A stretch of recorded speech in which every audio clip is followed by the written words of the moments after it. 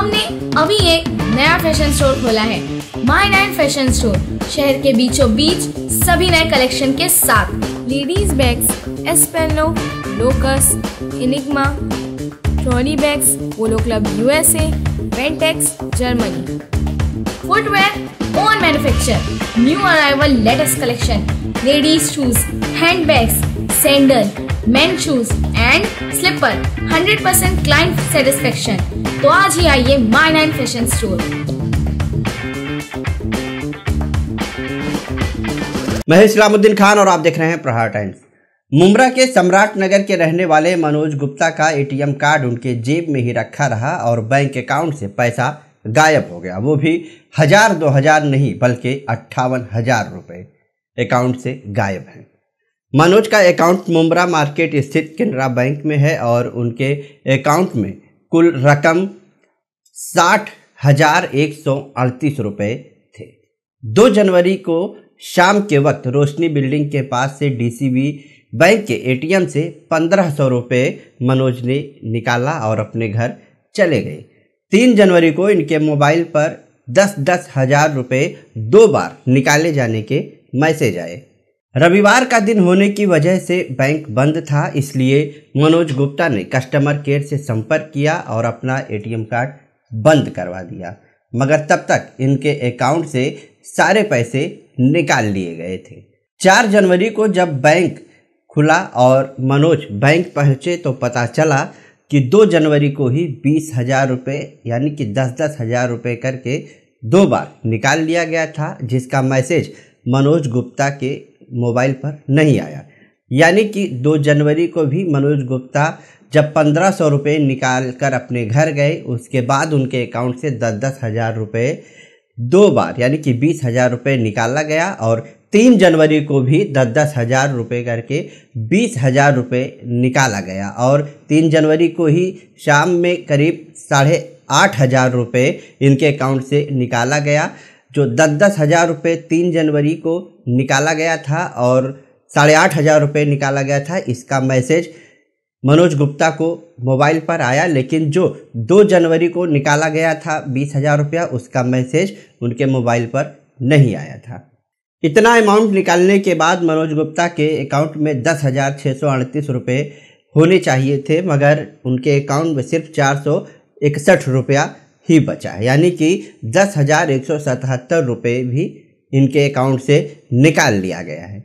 यानी कि मनोज गुप्ता के अकाउंट से टोटल अट्ठावन हज़ार रुपये की धोखाधड़ी हुई है। मनोज गुप्ता ने इसकी अर्जी देकर पुलिस में भी शिकायत की है और लिखित में बैंक में भी इसकी शिकायत की है। मनोज गुप्ता ने बताया कि ना ही उन्होंने एटीएम के संबंधित किसी को कुछ जानकारी दी और ना ही किसी को एटीएम दिया है।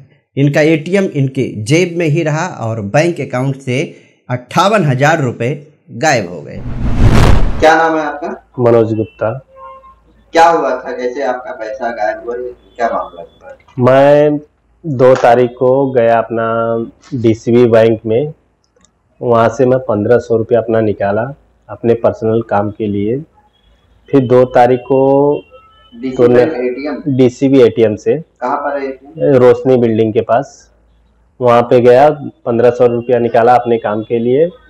फिर तीन तारीख को शाम को मेरे को चार बज के ग्यारह मिनट में मैसेज आया कि मेरे अकाउंट से पैसा ट्रांसफ़र हो रहा है दस दस हज़ार रुपया करके दो बार। तो मैं बहुत घबरा गया। घबरा के गया बैंक में तो बैंक बंद था संडे के दिन। वहाँ पे गया तो वॉचमैन से मैं कस्टमर केयर नंबर लिया और फ़ोन करके सर्विस सब बंद करवा दिया मैं कस्टमर केयर से। तो फिर सोमवार के दिन बैंक खुला तो मैं गया। मैं वो बैंक वाले को अपना सब पोजीशन बताया कि ऐसा ऐसा मेरे साथ हो रहा है। तो बैंक वाला चेक किया तो देखा तो दो तारीख से ही पैसा कट रहा है। दो तारीख को रात को ही दस दस हज़ार करके दो बार निकल गया था। मुझे पता नहीं चला, मैसेज भी नहीं आया। और फिर तीन तारीख का मैसेज आया मेरे को दो, फिर तीन तारीख को ही साढ़े आठ हज़ार का भी एक मैसेज आया। उसमें से टोटल टोटल मेरा अमाउंट साठ हज़ार साठ हज़ार एक सौ अड़तीस रुपया था, जिसमें से मेरा टोटल पंद्रह सौ निकालने के बाद उनसठ हज़ार एक सौ अड़तीस रुपया बचा था। उनसठ हज़ार एक सौ अड़तीस रुपया बचा और उसमें से ये लोग फ्रॉड करके मेरा पैसा निकाले। यानी तुम्हारा पैसा जो है तुम साठ हज़ार एक सौ अड़तीस रुपया था। हाँ। पंद्रह सौ रुपया तुमने दो तारीख को निकाला। हाँ। उसके बाद तुम्हारा जो है बीस बीस हज़ार हाँ। करके दो बार हाँ। पैसा निकल चुका है। हाँ। और एक बार साढ़े आठ हज़ार। साढ़े आठ हज़ार। हाँ। तो फिर तुम्हारे अकाउंट में कितना बचा?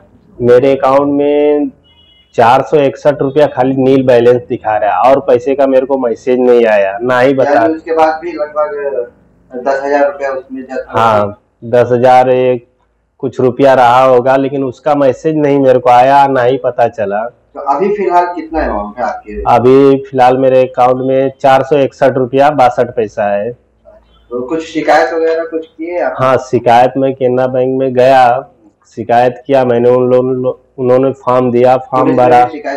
हाँ फिर पुलिस चौकी में गया पुलिस चौकी में भी एक फॉर्म लिया एनसी डलवाया।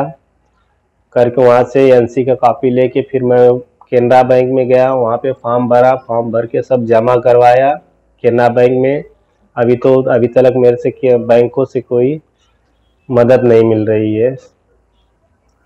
अभी आगे क्या होता है आप आपने किसी को एटीएम वगैरह कुछ ऐसा दिया जी नहीं। कुछ किसी फ़ोन कॉल कुछ आया था ऐसा जिसके कुछ- आप कुछ कुछ- जानकारी ली हो एटीएम बैंक के संबंधित?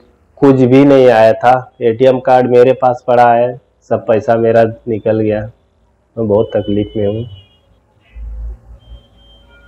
तो ये बैंक कहाँ पे है? केनरा बैंक कहाँ Canara bank Mumbra market. Mumbra Bhaji market कदम हाल के पास केनरा बैंक है जिसमें मेरा अकाउंट है।